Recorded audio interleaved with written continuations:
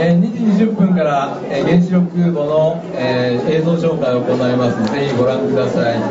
2008年にジョージ・ワシントンから、えー今年去年ロナルド・レーガンに交代になりました。そこで、にえー、加わっているいろんな問題点もご紹介したいと思います。ぜひともお集まりください。えーご来場の皆様、えー今日はありがとうございます、えー2時20分間から30分ぐらいで、えー私たちがやっております原子力空母横須賀母港問題を考える市民の会のプレゼンをさせていただきます、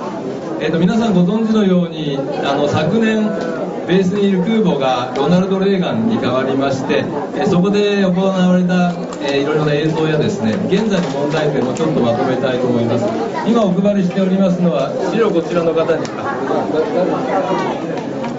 今お配りしております A3 の資料に基づいてお話しいたします。それとパワーポイントでもお知らせいたします。あの映像でご紹介する中身はですね詳細は大体これに書いてありますけれどもあのこちらの前のモニターでご覧になって、えーえーご確認いただきたいと思います。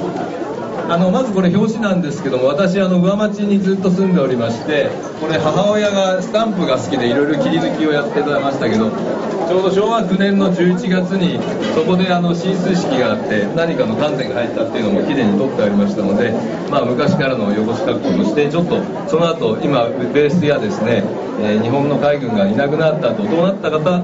かなということも含めてご紹介したいと思います。ちょっと振り返りなんですけども、あの横須賀はですね当然こういう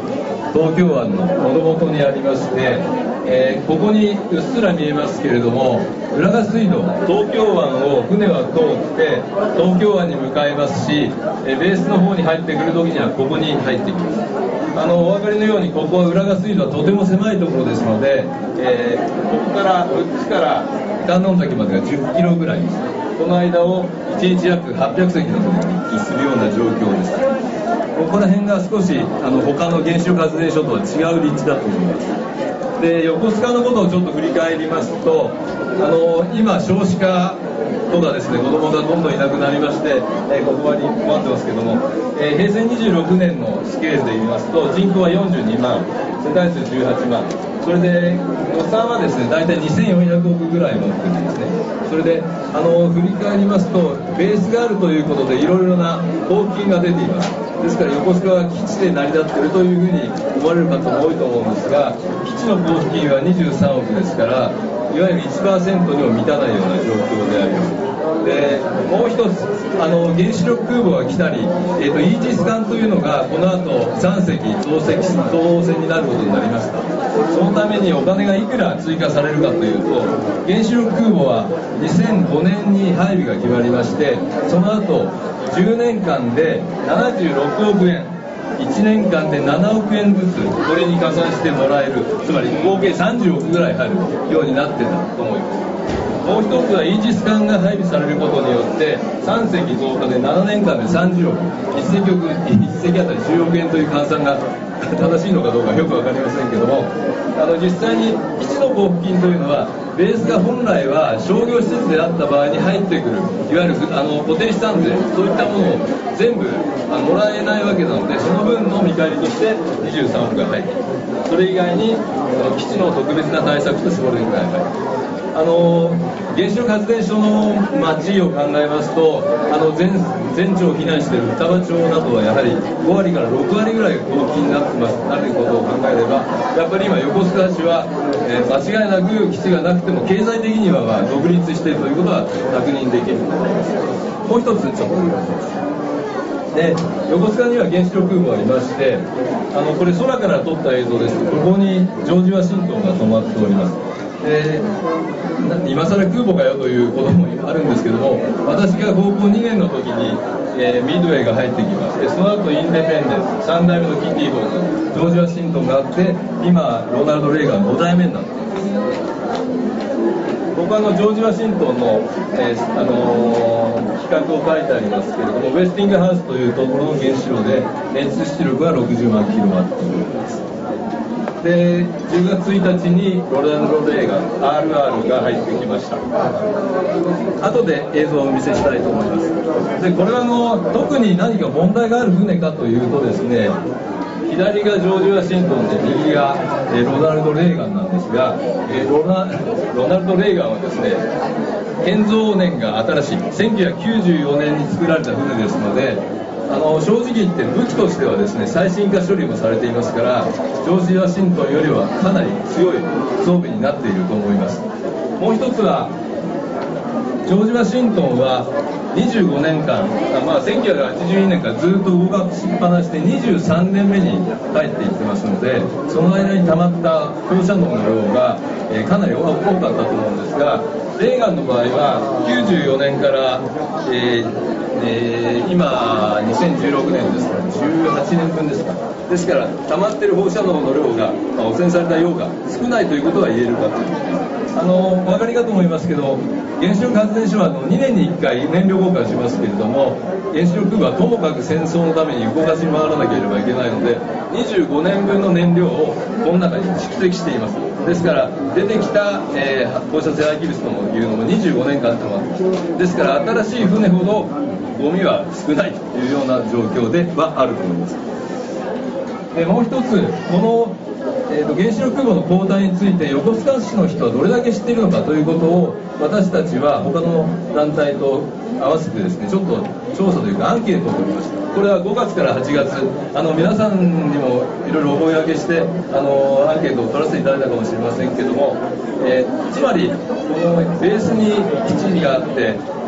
基地に空母があってアメリカ軍と共生してはいるんだけれども一体その情報というのはどのくらい分かってるんだろうかということの透明性の調査だと私たちは認識しましたでベースの空母があれだけのものが交代したというのを知っていた人はやっぱり半分しか知らなかったでもう一つは原子力空母について安全対策をいろいろやっているというふうに国や市は言ってるんですけどもそれについて本当にそれ OK かと思うような十分というお考えになっている方は9.3%。3%それとなんかよくわかんないなという方がまあ大半で不十分であるという方も半分近くありました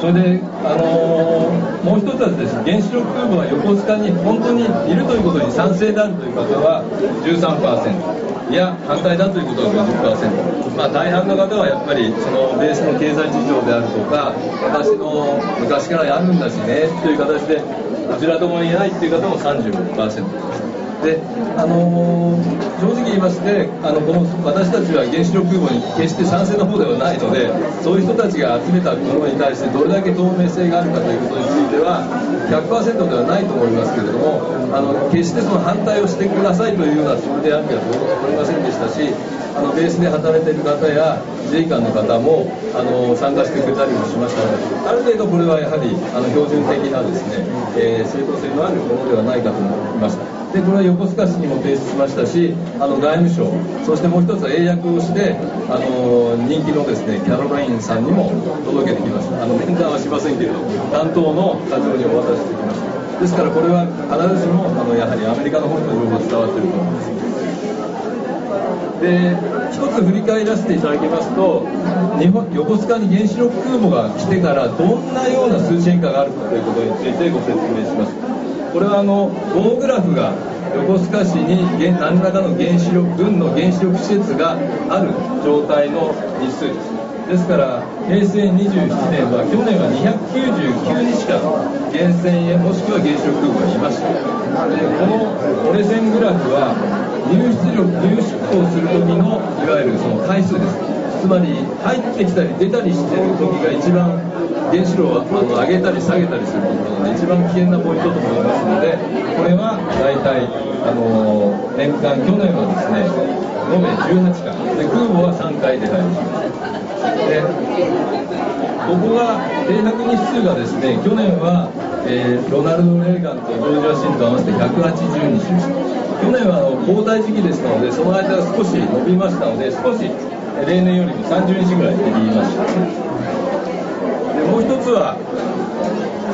これをどのようにその原子力施設があることにこれがあることについてどのように日本横須賀市や日本は管理しているかということなんですがモニタリングポストというものが、えー、市に10カ所ありましてそれでこういうふうに日々、え、数値が出ています。ここをご覧になりますとあの行事が出てきます。で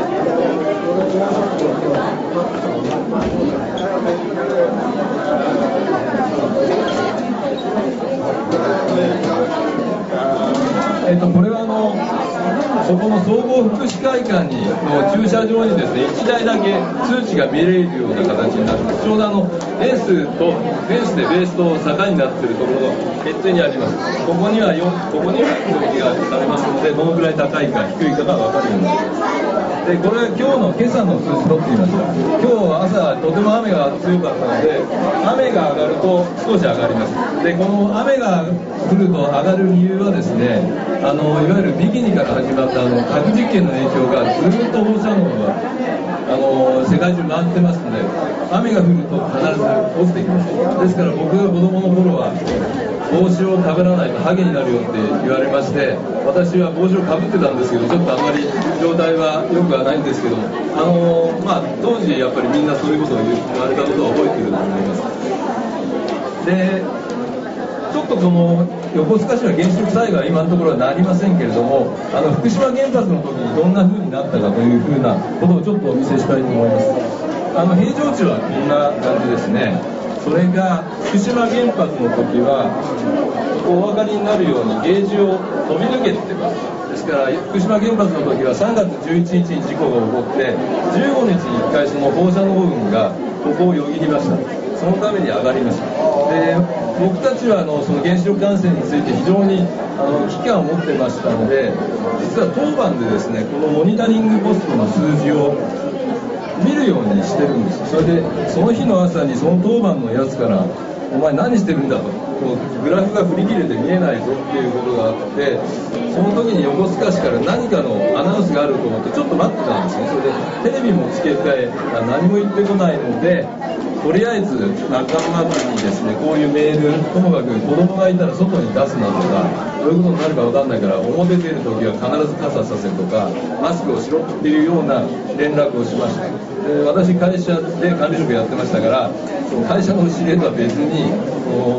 部下の中で子供がいるようなやつにはこういうのやれよっていうふうに話しました。それでそんなことやってるうちにニュースが報道するのかと思ったら結局何もしませんでしたよね。ですから僕はちょっとそこではっきり分かったのは決してその公的なものがやることを頼りにするのが全ていいそれだけでは済まないんだということを感じました。で一つもう一つはですねそのもし事故が起こった時にどのようにするかということについては今えー、原子力発電所と原子力感染で基準が違うってことはいろいろ新聞で報道なさあのご覧になってると思いますけれども原子力発電所の場合はここの半径30キロのつまり、えー、房総半島からですねこっちは厚木とか小田原までなんですがその範囲がいわゆる何らかのことが起こった時には影響があるかもしれないので対策をすべきところなんですね。でそれが原子力感染の場合はこの3キロです。ですからここから行くと、まあ、中央駅までが2キロぐらいなので少し超えてそう衣笠ぐらいまでの範囲までがまあなんかちょっと準備してりゃいいですよ。でまあ栗浜の人とか全然問題ありませんというような状況であるわけなんですが果たしてそれでそんなこと言ってて福島の時にどこまで来たんですかっていう話にが皆さんあのお感じになると思うのでそれについては今あの政府の方で検討しています。ですから今それが進んでいるところです。でしかしですねもっともっと大事なことがありましてその3キロとか30キロ以前にアメリカ軍がどういうふうに言ってるかというとですね実は横須賀市が主催の防災訓練とアメリカも参加してくれてやる防災訓練と実は2つあります。本当は1つでいいと思うんですけれどもというのはアメリカ軍はですねともかく事故は起きませんと。もし起きてもですね空母の外には絶対出ませんっていうスタンスを取ってますから一切その横須賀市街、まあ、横須賀市の人間を含めた対策というのには全然乗ってくれないんですそれではいかんというので横須賀市は毎毎月1回市の主催で、えー、避難訓練をやっています。ただそれも3キロ圏ですから、えー、僕はあの上町に住んでますけれどもあの3キロ圏の町内会全てやるかというとまだとりあえずベースの周りの10箇所をやってるだけです。まあ、そもそも日本日米の被害想定が異なっているために、まあ、市民の避難を含めた合同訓練ができないというのが今一番大きな問題だと思います。これはあのアメリカ軍はあの、えー、原子力空母が来るときに放射性物質は決して艦外には出ないというふうに表明を確固信徒でしていますからこれが10年経ってもきっと認めません。ただしじゃあ認めないんであればかつ日米共同でこの後政治的にするんであればどうするかっていったらやっぱりその非破壊検査のようにですねやっぱり非常な重大な事件が重大な事故が起こったらどうするかという想定に立ってやらなければいけないと思いますので私は今あのこの避難基準の策定っていうのは非常に興味深く思っています。もう一つあの、えー、陸上の原子力と違うのは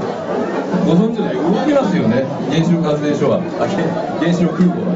あの皆さんどちらお住まいですかね。あの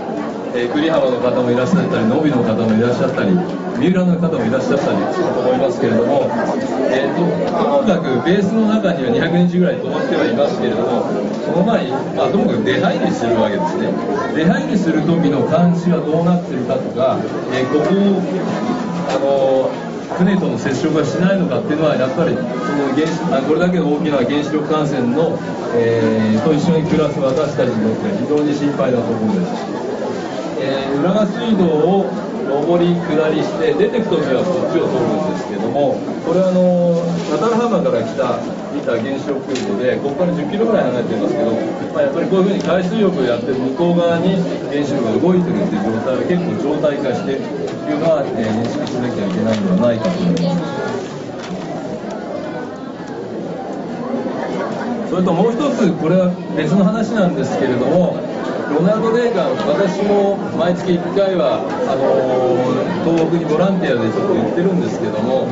ロナルド・レーガンは第一次の時に助けてくれました、韓国に向かう演習を切り上げてきて、助けてくれました。でそのためにやっぱり非常に現地の多くの人たちは感謝が深いですし私もとても立派な活動をしてもらったんだと思うんですけどもとは認めていますけれども実はそこに参加した人たちが被爆している訴訟しているというのはほとんど報道されていません。ですからあの非常に重大なですね放射能を頭から丸ごとあの降ったということではなくて急性的な死亡を起こすようなものではなくてその時の飲料であるとかそういったものに混入したという気がするたくさんあると思います200人ぐらいの方が今訴訟していますで訴訟の相手は東京電力ですですから東京電力が適切に日本政府とかアメリカ軍に対して情報を開示しなかったことについて訴えていますでその訴えてるのに将来的に、あのー、まあ、被害を与え受けて出てくる兵隊にとってそのちゃんと基金をつけるということを求めています私は非常にそれは真っ当なことだと思いますし、あの兵隊たちっていうのはやっぱり僕らの中でもなではあると思いますから、この辺はやっぱり日本人は忘れないで、あのえー、いろいろバックアップできるのがバックアップしていきたいと思います。であとはですね、ちょっと映像でご紹介したいと思います。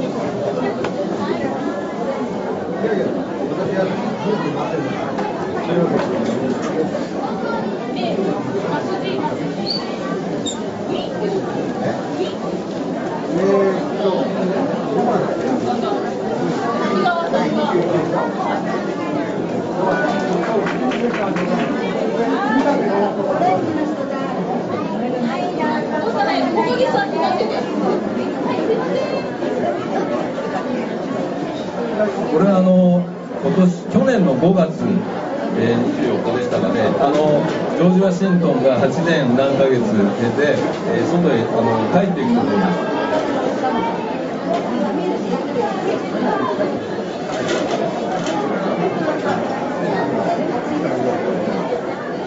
ちょっとあの船の上から撮ってるんでゆらゆらしてますけれども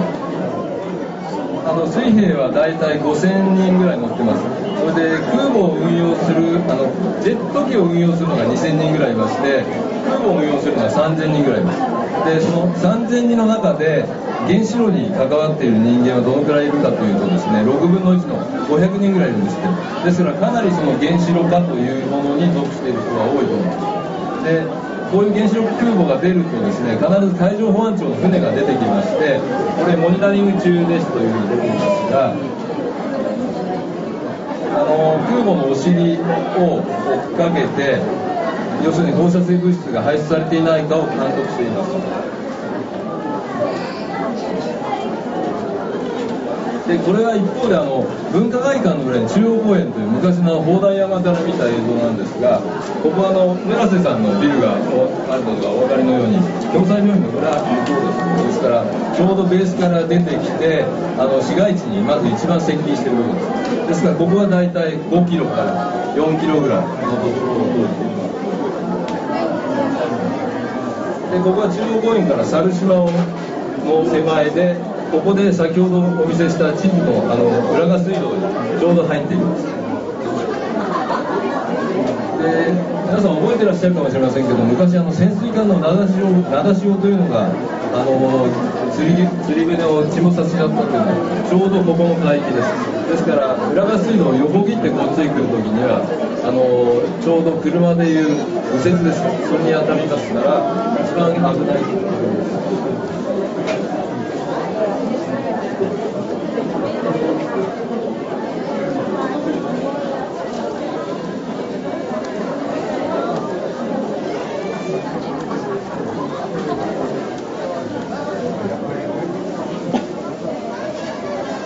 で今ちょうど浦賀水道に入りましてこれはトゥトゥトゥトゥトゥトゥって向こうへ行くんですけれども、えー、先ほどお見せしたようにあの右側通行ですからこれ一番近いところといってもそんなすぐではなくてやっぱり6キロから7キロぐらいのところを横断していくで先ほどお見せしたモニタリングボート放射性監視の船は実はここにはもうすでにいないんですですからここは足に水置きですからいろんな漁場になってるはずなんですがそこはモニタリングが全く日本は知っていません。ですからアメリカ軍もそこでいろんなその汚いものをボンボン捨ててるとは思いませんがそこは全く日米の間での監視は全くされていないというのを、えー、認識をしたいと思います。私たちはそこの間も基本的には追跡をして測定すべきだっていうのを申し上げてますけどもなかなかそれはあのどういう理由か分かりませんけど認められていますがそこはちょっと続けなきゃいけないかなと思います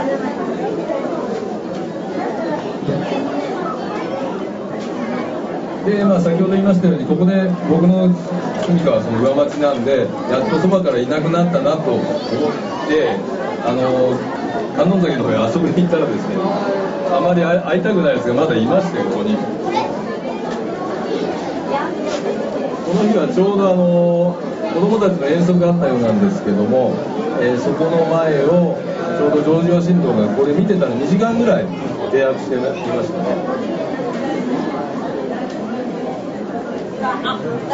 ね。それであのこの前ロナルド・レーガンがあの出航した後に安倍首相がレーガンに乗ったっていうのをご存知ですよね。お分かりのようにここ栗川沖10キロそれでレーガンに安倍さんが乗ったのは相模湾です。ですから別に横須賀にいるだけではなくて出て行った後もあの辺に常に停泊をしたりするっていうことはあの日常的に行われていると思いますし沿岸から10キロから25キロぐらいのところに停泊している原子炉施設については日本は全くあのいわゆる領海内ですよね。まあ、その中でも何も監視ができていないという事情はやはり少しは是正をしなければいけない。イギリス国としては何かちゃんと査察をすべきことではないかなと思っています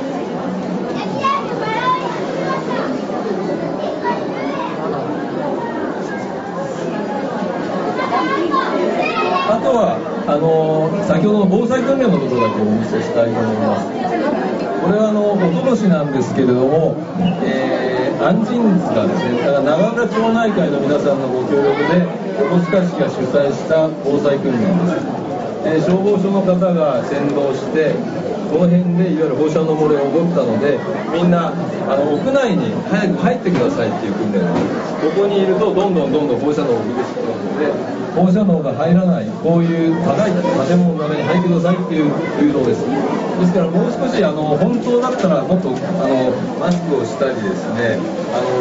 したりすると思うんですがそれはまあ眠ってやりました。で入ってきた方が放射線の被曝をしていないかどうかはこのように2人1組でライガーカウンターに測ってこの人が書き留めるということをしています。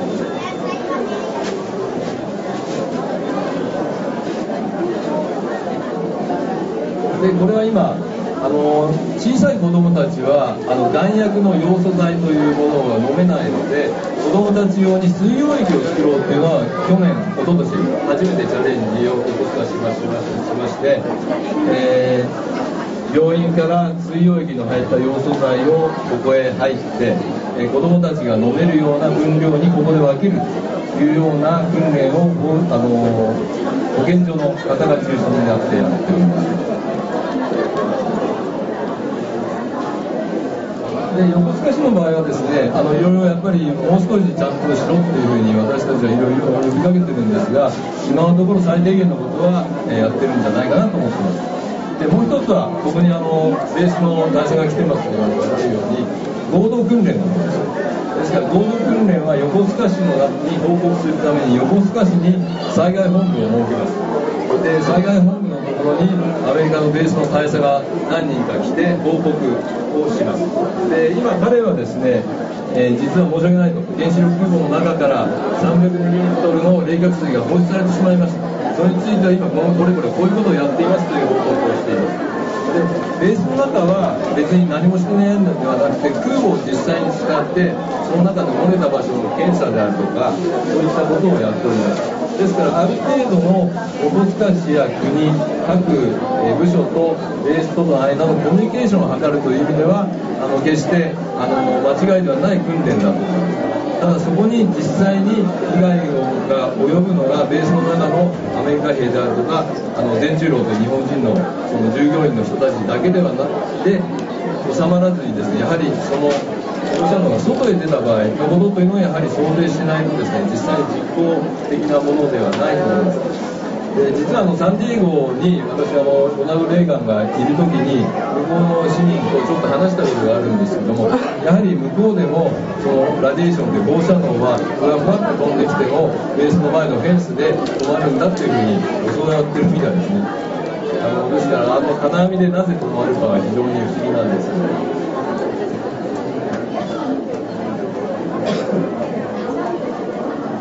これはあの中であの被害を浴びた人は海軍病院に入ると海軍病院で収容できない例えば脳神経の病気があったような人の場合は共済病院に運び込むというようなある程度有機的な連携はしておりますし、まあ、1年に1回やらないよりはやっている効果はあります。でまあちょっと僕が感じるのはそのえーと、実はこちら側はですね担当課長があの小貫氏というのが危機管理課の課長で実は空母が来る前からずっといるあのいる非常に専門性のある人なんですねただベースの方はですね毎年毎年やると必ず相手が変わっちゃうんですですからその向こうでやはりその連絡の事務的なものだけではなくてそういうような横須賀市と合同でやるというような体制が取れているかどうかというのがちょっと疑問ではないかなと思います。